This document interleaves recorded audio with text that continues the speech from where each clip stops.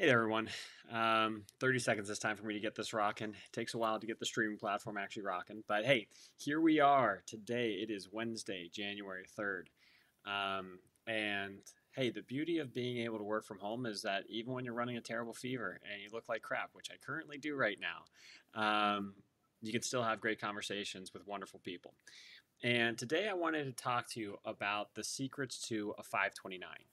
And in particular, there's a lot of cool things about a 529. You know, for one, um, a lot of people may not be using it if they if they aren't. Maybe they should. But with that being said, um, you know, a 529 in a top line can be used for K through 12 expenses, not just for higher education like college.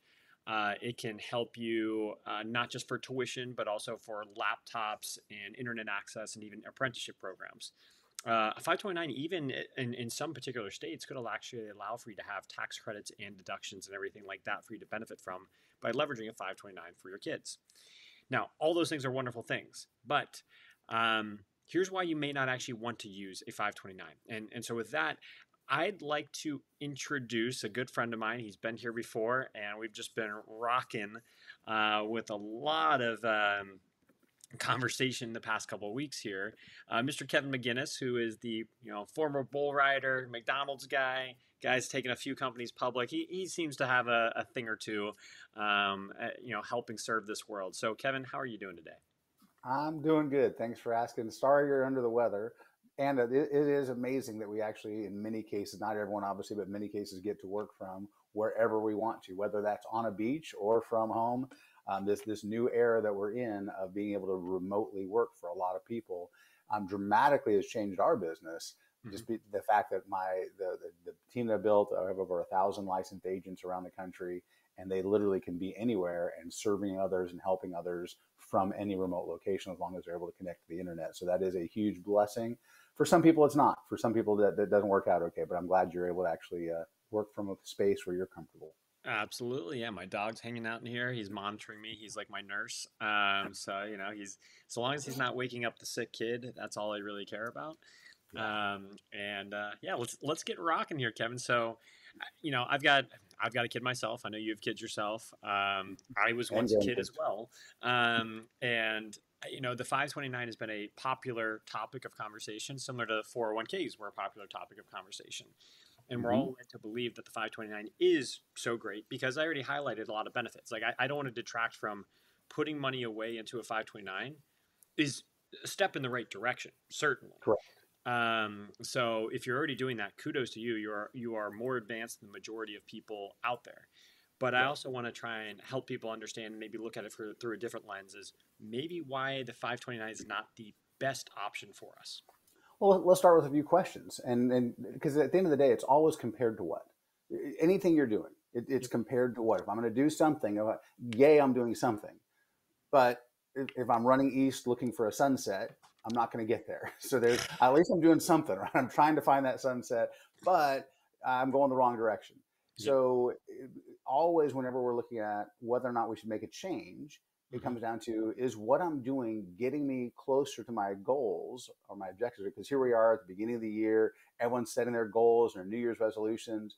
Well, you've talked about Tony Robbins before. Tony Robbins talked about the ultimate success formula. Have an outcome, start taking massive action towards mm-hmm. that outcome, but then have some sensory acuity. Notice whether or not what you're doing is moving you as quickly as you'd like towards that actual objective. And if not, then make an adjustment so you don't change the goal. The goal stays the same. The outcome stays the same. But how you get there, you can have a hundred different paths to get. Just like with your GPS on your car, you put in the directions to go to Times Square, but there's a roadblock. Something happens. Bridge is out. It gives you a detour and it shows you a faster path, an alternate route that's better than the one you were on to get there. But it's compared to what is the path I'm on going to get me there in the time frame that I want. So let's let's let's ask a few questions about the 5.9 plan. Yep. Let's say my kids are mathletes or athletes and they get okay. scholarships. And I've been saving money, saving money, saving money in the 529 plan.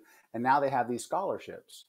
So they don't need that money for the, the college tuition. Can I use that money to buy them a car to go off to college? Am I allowed to use that money to buy a car?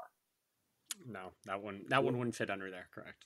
Um, what about if I wanted to put a down payment on a house for them? Can I take that money out of the 529 and, and put a down payment on a house? Can I can I pay for helping them start a business? If I want them to actually have a business that gave them an asset that's providing them an income, can I take money out of the 529 and, and do that? How about they get out of college, they want to get married? Can I take that money and use it for if if I don't use it for education or a couple of those specific things that you were earmarking earlier, mm-hmm. if I don't use it for that, it reverts back like a 401k and for mom and dad can't touch it until 59 and a half. And if they touch it, there's penalties for actually accessing that money early. But what about market risk? If the market tanks, mm-hmm. let's say you're, you're saving, saving, saving, the, the child didn't have the scholarships, but they're getting ready to, to go to college and you're ready to use that. But all of a sudden the market takes a 10, 20, 30% drop in the market. And that money you thought you had to be able to send them off to school is now evaporated. Yeah. So what if there's a way we could actually set the same money aside but get some guarantees on the money to where if it goes up, the market goes up, market goes down, we get the gains, but we don't take the losses. Mm-hmm. But also, what if uh, I had the account that, yes, it was there for education, but if little Timmy gets the scholarships, then you could use it for whatever else you want. You could use yeah. it to pay for the, the car, the, the down payment on the house, the wedding, the starting a business, anything else you want to. Or if little Timmy acts a fool, and decides he's not going to go to school, he's not going to follow direction, he's going to just go off and do his own thing. Mom and dad go to Tahiti for crying out loud. you, have, you have access to money. You are the owner of that. Yes, you're earmarking it for your child's education, but college education isn't necessarily right for every child. There, there's obviously certain career paths where it's absolutely necessary, it's absolutely required. But I think we can all agree there's times when it actually isn't the best thing yeah. and there's just tons of success stories even of people who started going to college but then they chose to leave college to go start a business and do something else yeah. and many many success stories from that um, or you have people who just get into a situation where the money would be better used for that family yeah. for something else and um, for me personally i just in my own personal life i my dad passed away when i was 16 and after and he had no life insurance in place, no no money set aside. He he was unhealthy near the end, so a lot of doctor bills and expenses wiped out my parents' finances. So when he passed away, we literally had nothing. My mom and I, I left school in the tenth grade, started working three jobs trying to make ends meet, and we ended up losing everything. Um, ended up living in a camper shell in the back of a truck for an extended period of time so I don't I don't come from money. I come from a complete lack of yeah. money. Yeah. And if we'd had a 529 plan set aside at that point, there was there was no me going off to college at that point. There was there there yeah. literally with that life situation happening. But if we'd had that a pile of money that was set aside that could have been used for other things, that would have made a huge difference at that point. So yeah. anyhow, that let's talk about some. There, there are some other alternatives that a person who wants to put away money for their child and yet also have some flexibility on that. Mm-hmm. Let's take a look at that. So I'm going to share my screen out here. Yeah, and while you're trying to share the screen, mm. you know, as I think about it, there's that guy from Facebook, that guy from Apple, the guy from Microsoft, uh, Gates, yeah, and Jobs. They they all dropped out of college, so um, it it makes me believe that it's okay. Um, so let's yeah. get there's definitely times where it would make sense, and there's times where it wouldn't make sense. But uh, but what about just having the flexibility? What about having the option? Mm-hmm. So you should see a slide that says financial IQ. Is that showing up on your side? Yep, yep. I'm just okay. add my face uh, in the conversation, and then I'm going to slide us down there so people can actually see the slide for the most part.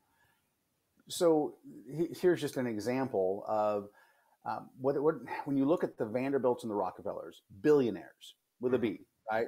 Back when a billion dollars was way more, right? but uh, uh, today the Rockefeller family is worth an estimated eleven billion dollars still to this day. Makes one of the richest families in the world. Yeah. But the Vanderbilts, which I live here in Nashville, we have Vanderbilt University, we have Vanderbilt Hospital, right? Commodores, all that.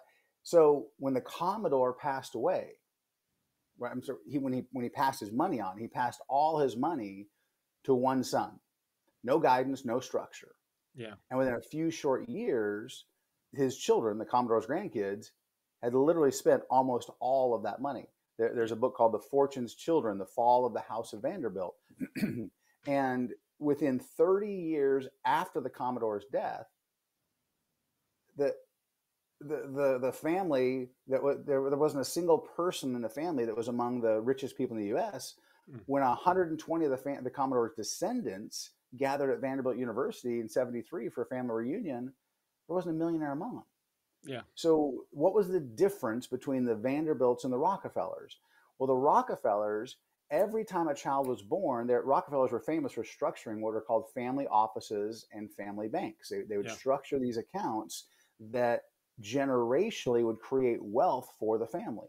Mm-hmm. And so, every time a child was born, they would put money into this family banking concept that you and I have shared some conversations with in some of our other talks. And when they would put that money in there, they would earmark it for that child. Yeah. Now, you get to still be the owner on the account, though. Like I said, if little Timmy acts a fool, you're still the owner of the account, yep. but you're earmarking it for for that child. And by structuring these family bank structures, no one child could wipe out the family's fortune. Sure. Well, Kevin, what if our family doesn't have a fortune? Well, let's start creating a fortune to generationally create generational wealth. Yeah. And let's take a look at what one of these structures actually looks like. And we call it the million dollar baby plan. Um, it, it's an alternative to anything else you would set aside the money for the child for. But okay. let's just look at some, a simple number 100 bucks. 100 bucks a month going away. That can you really change someone's financial future? Can you change your family's name, right? Can you make your family's name stand out by just setting aside $100 yeah. a month? Let's find out. Let's kind of run the numbers on it.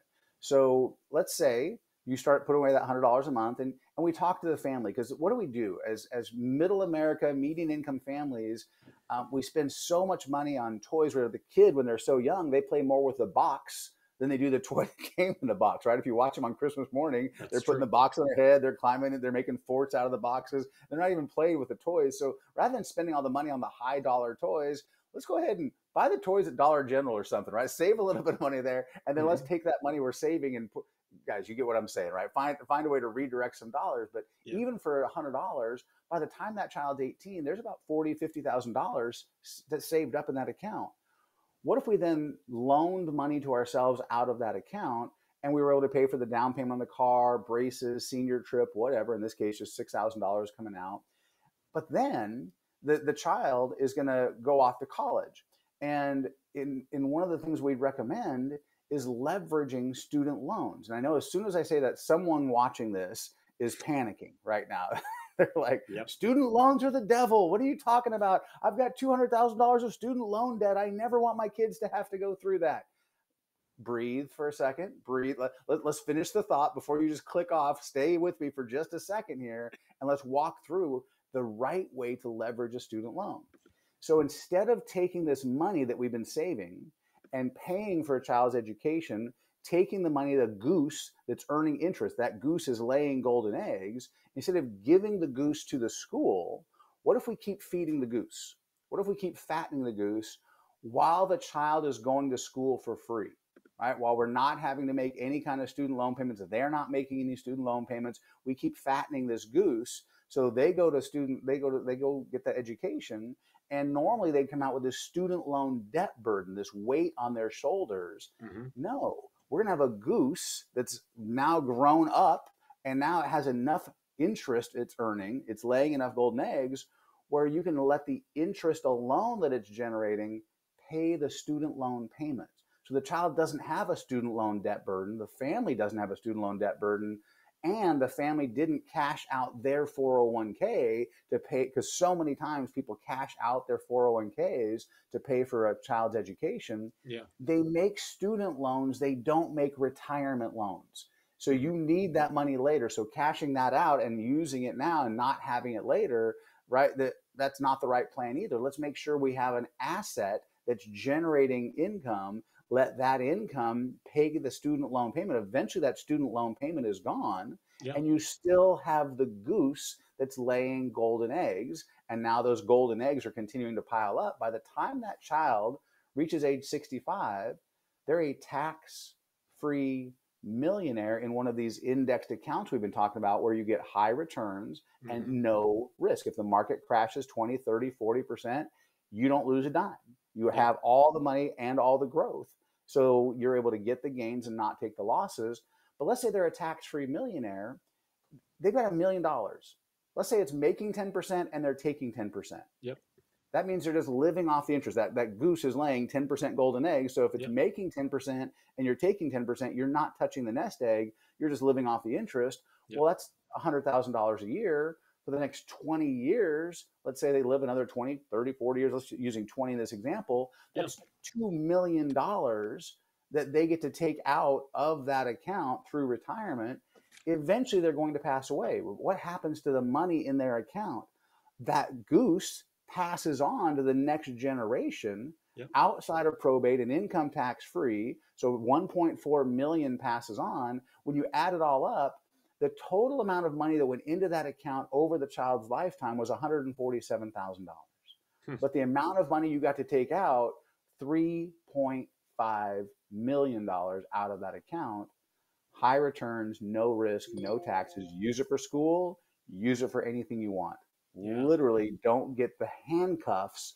The, the, the 529 is fine for the tax benefits, but you get so many handcuffs that go along with those tax benefits. Why not get an account that has the exact same tax benefits? It grows tax free and you take it out tax free, but it has all these other benefits Yeah. and none of the handcuffs.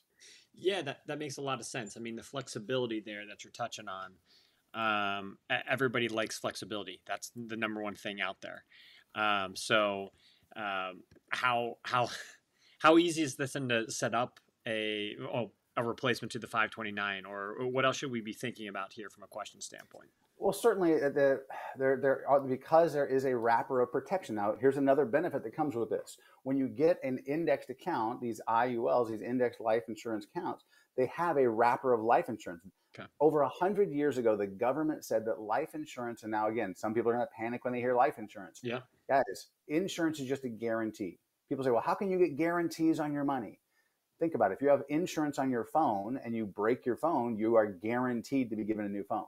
Yep. If you have insurance on your car and you wreck your car, you're guaranteed to be given a new car. It, insurance is just a guarantee. You're buying a guarantee. It- it's almost like if you get that that extended warranty on your car for the transmission, Yeah. you almost hope that your transmission goes out at some point because you've been paying for that extended warranty, that guarantee on your war- your transmission. Um, and if you if a transmission doesn't go out, then you're like, ah, I wasted all that money. Well, guess what? At some point, we're all going to pass away. So having a wrapper of life insurance just as a guarantee that a our money will never lose money. Eh, uh, money will only go up, never go down. Yeah. And eventually, we are going to pass away. So that's an asset that's going to pass on to our families. But the, the fact that that wrapper gives us those tax advantages that any money, the government said that life insurance is a benefit to the government because if someone passes away, they won't have their hand out for welfare or food stamps. So in 1913, Yeah. the government said that any dollars that go inside a wrapper of insurance will grow tax free and you can take it out tax free. hmm And about 30 years ago, they changed the rules where instead of the life insurance company making all the high rates of return, now the client gets to make the high rates of return. Yeah. So, this ability for someone to get high returns with no risk, phenomenal. Oh, but there is this benefit of this wrapper of life insurance. It's never cheaper to buy life insurance than today, meaning the younger you are, the lower Yeah. the cost is on it. Yeah. And obviously, on kids, it's pennies on the dollar Yeah. to have a protection, which they're going to need someday. Eventually, they're going to probably have a family, get married, kids. They're going to have an insurable need that says, hey, if something happens to me, I want to make sure my family is taken care of. Um, if not, they still could give it to a donation. They could uh, have that beneficiary be a charity, something else that's important to them as they get older. But that wrapper of protection gives them the guarantees on the money and it gives them the tax advantages on it. So that is one of the questions we have to ask, though, is what if the child is uninsurable? Because unfortunately, some children are born uninsurable. They have some health Yeah. situation that causes them to not be able to be insured. But the odds of being able to insure a child versus every day we get older, the odds of something happening to us that cause us to be uninsurable or cause our insurance rates to be higher, it's if a person is insurable, though, it'll always be less expensive Yeah. as a child than as they get older. And the one argument that some people say, well, but but yeah, but if they get it when they're older, they're going to pay for it for the rest of their life. Because it's so much less expensive, it is way cheaper to have it and have it younger and have it for the rest of your life than to wait till you're older and only have it for 10 or 20 years. The cost is so much higher when you're older, even though you're only going to be paying into it for 10 years or so before you pass away, than if you had it your whole life at the pennies on the dollar. Yeah, and, and so a quick question for you here, Kevin. Um, when I'm thinking about uh, like the IUL, then replacing that 529 for a kid, Mhm. like you said, it's pennies on the dollar, but this kid is going to turn into an adult and will have their own Yep. family. Yep. I, I know you have to have some form of insurance in place to hit the federal requirements of being defined as insurance, which then allows for you to, you know, basically have those guarantees versus a traditional investment account. Um, my question is, let's just say the coverage right now is $100,000 for a baby or whatever it might be. Right. Now we know in the future, once you have a, a family and you look at your debt, income, margin, and expenses or educational things that you want to account for, Mhm. that that might grow to like two million dollars. So Correct. will this baby, thirty years later, be able to take that hundred thousand dollar policy up to a two million dollar policy without having to go through any new financial requirements? They will not. They're, they're, there's going to, not only financial, but health requirements. They're to, they're going to, they're going to, they will have to look at getting qualified for extra coverage later on. But let's say it's, and, and normally the hundred, I would normally have at least $250,000 on the child. You can do up to half of what a parent has. So if a parent has a million dollars of coverage, you can do up to $500,000 of coverage for most carriers. That's kind of a, a, a general rule of Yeah. thumb on that. Um, so with that in mind, I would highly recommend because again, it's so inexpensive.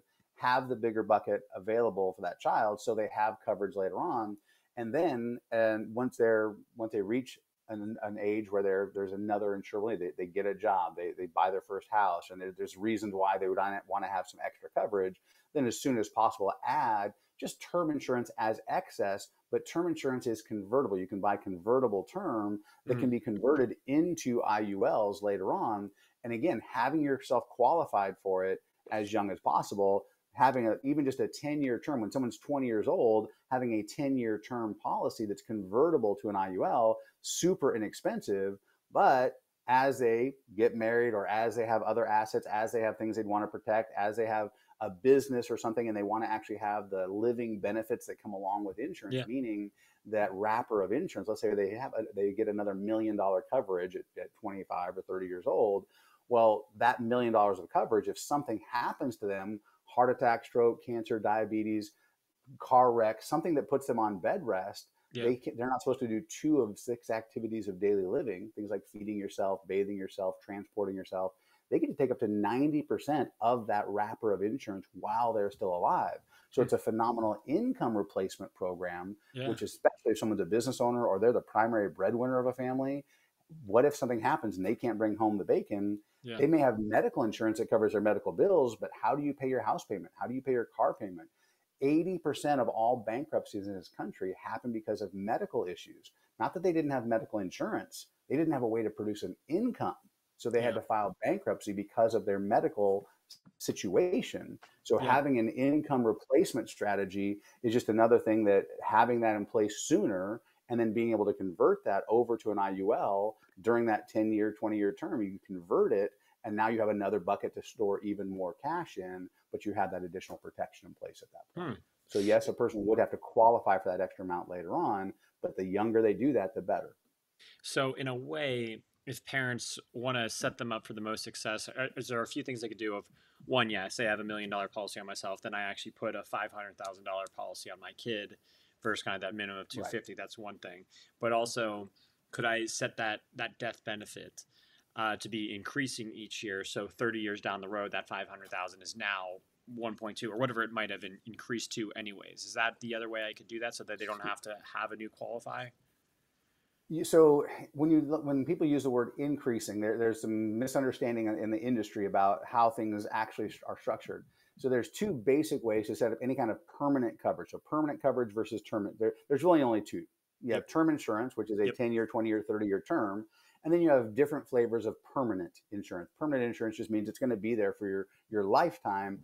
Now, permanent, many people say, "Oh, that's whole life." No, whole life is a specific type of permanent insurance where you pretty much have to pay a premium for your whole life. You got to keep paying that premium no matter what. Yep. In an IUL, some of the things we've talked about in some of the other conversations we've had, within about five or six years, there can be enough money in that account where you never have to put any more money in. It's going to keep itself alive. Yep. You're going to have coverage for the rest of your life, but you're not going to have to pay money in for your whole life. So those mm-hmm. are two completely different types of permanent coverage. So in that permanent coverage, though, there are level policies and then there's increasing policies. And a rule of thumb, an easy way to think of it, this isn't how it actually works, but a, a simple way to remember it. If I'm going to be putting in a level amount, let's say I'm just, I'm, I've reached a point in my life, I'm not planning on getting raises or promotions, and I just want to put away $500 a month. And that's all I really ever want to do. I'm not planning on getting raises or promotions and putting more in later on. If I'm going to put in a level amount of money, then a level policy is a, a kind of a good way to go for most people. Mm-hmm. If I want to be increasing money over time, if I want more cash inside this account, if I'm going to use this as a family banking structure, if I'm going to use yep. this to be doing loans out, the more I use the money, the better that money is going to grow because mm-hmm. I'm paying interest to myself, not to credit cards and car companies. Well, if I'm going to be increasing money into it, then I want an increasing policy. And all that really means is the amount of insurance, let's say it's a million dollars of coverage, your cash is increasing the total death benefit as the cash grows on top of that 500,000 of coverage. So meaning I've got 500,000 coverage. If I pass away tomorrow, 500,000 goes to my family, or I'm sorry, a million dollars. If I got a million dollar policy yeah. and I pass away, a million dollars goes to my family. But as soon as I've got a $100,000 in my account, well, then if I pass away, a million dollars of life insurance plus the hundred thousand of cash, or a dollar of cash, or two hundred thousand of yeah. cash, the extra cash goes on, so that cash and life insurance amount get converted to something called death benefit. So your face amount of life insurance, million dollars, plus any cash, those two things combine when we pass away to something called death benefit. And there's a lot of confusion where some companies try and tell you that death benefit and face amount are the same thing. And they'll say, oh, when you die, you only get the life insurance. You don't get the cash as well because they confuse death benefit and face amount as being interchangeable. They're not. Face amount is the amount of coverage you're buying. The death benefit is face amount plus cash convert to death benefits, which passes outside of probate and income tax free to your family. So in that case, yeah, the more cash a person's putting in, their death benefit is getting bigger and bigger to where they have that million dollars of coverage plus a million, two million, three million dollars of cash on top of that. It would all pass on outside of probate and income tax free to the family. That's a really big point that you just made there. It's not or, it's and. And, and I, I, think that's a, a lot of people do confuse that. Hell, I confused that the no, first couple times I looked at it. Not not only uh, not only people, people in the industry tell people that they literally mislead them, and it's not. You could have a best friend who is in the insurance business. mm-hmm. They're licensed. They've been through training. The problem is the company they represent. The trainers from that company have told them, "Oh yeah, you only get either or." So they, you could put your best friend on a lie detector they believe what they're telling you. They look you in the eye, they look you dead center, and they believe that you only get either or because that's what they've been taught. And they've been shown examples of old policies because back in the day, 20 years ago, 30 years ago, there were policies that that's how those policies worked. You only got either or. But just like your cell phone has changed, we've talked about that. You know, you no yeah. longer have a hinge on your cell phone. Technology has changed your cell phone. Yep. The industry has changed, and these products have advanced dramatically to be the tools that they are today for financial future for your financial future. And unfortunately, your best friend could be put on a lie detector. They believe what they're. But have you ever believed something and found out later you were wrong? Have you ever had that experience? That's yeah. always a fun one with your spouse, by the way. Yeah. right. Um, so unfortunately, they're being taught something, and shame on the trainers of those companies because in many cases those trainers know the difference, but they're still training old, outdated trainings to yeah. people that are brand new in the industry that don't know any better, who are then repeating this misinformation. Yeah. So the reality is, no, that is, I don't, I, my, I believe there's not even any in existence. There may still be a company somewhere offering a product like that that's an either or. I'm not aware of any, but if that if that's true, that's certainly something I would never recommend to a client. I doubt that they would have a high credit rating if they're still offering yeah. something like that. That just sounds very backward and scammy. yeah, yeah, so, yeah, exactly. Wow. Um, okay. So is there anything else I should be thinking about from a 529? Because I mean, so my major takeaways here is like, yes, the 529 does offer a lot of great features, like yeah. covering not just college, but also K through 12, the internet, um, apprenticeship, laptops, all that fun stuff. But at the same time, like you've hit on, well, you said all that fun stuff. Yeah. Only that fun stuff. That's it. Only that fun you, stuff. only that fun stuff. What about everything else? And that, those are great. And the, ta- the ta- so the, t- the biggest reason people do is the tax benefits for those things. So they're going to be able to grow money tax free and take it out tax free for this very specific finite group of. I, I'm about to give you an old reference. No one, I think maybe three people watching this will pick it up, but I'm still going to throw it out there. there. There's a movie by Steve Martin called The Jerk, and The yep. Jerk um, is an old movie, but he he gets a job at the carnival as a weight guesser, and these people keep coming up and and as he, as he, they're saying, well, what can I win? He's like, well, if, if, you win the first time, then it's it's of all these prizes, it's it's everything below this line and above this line and between this eraser and between and he narrows it down. There's a little tiny bit, and he's he's doing terrible. And, and the the guy who, uh, who who is running the carnival comes over, and Steve Martin's basically crying like, "I'm I'm terrible at this. I've had 20 people come up. I haven't guessed their rate weight right once." Yeah. And the guy's like, "Dude." He says, We charge them a dollar for you to guess their weight. If they win a prize, it's a 10 cent prize they're winning. So yeah. every time you guess their weight wrong, we're making 90 cents. Yeah. And Steve Martin's like, Oh, it's a numbers game. And he throws his cue cards away and he's like, Step right. right. And, and it, you know, he, he was excited about now taking advantage of people. And yeah. it's but the but the hilariousness of the oh all you get is this little benefit and isn't that what they do? They, they have the big prizes at the carnival, but when you actually win, they give you the little one. Oh, you have to win three more times to trade up your prize and throw out your arm and yep. all that kind of stuff. I don't like carnival games like that. I don't like scammy things, right? Yeah. I don't like it when there's limited benefits, but it's sold as, hey, this is an amazing thing why have the limits? Why have the handcuffs? Let's get rid of the handcuffs and be able to have use of that money for anything, but still have the main benefit we wanted, which is grow tax free and take it out tax free. But let's add those guarantees on as well so we don't lose the money on the way. Yeah. Ooh, I like that. I kind of want to watch this movie. So uh, maybe I'll have to, I'll have to tune in for it. Um, but wow. Okay. So, I mean, th- this has been really, really helpful. Uh, and I'm, I'm happy to say that I won't be doing a 529 then for my kid. I'll uh, I'll use the IUL. I'll leverage the fact that I already have an IUL on myself, so I can get half the amount there. Mm-hmm. Um, and from there, um, hopefully, well, the same thing I do for all my kids and all my grandkids. And I've gone back and added additional as our income has gone up, as our business has done well. I have I need more places to put money. I, yeah. where, where else am I going to put my money? So as my money grows, my income grows, I've got to put it somewhere.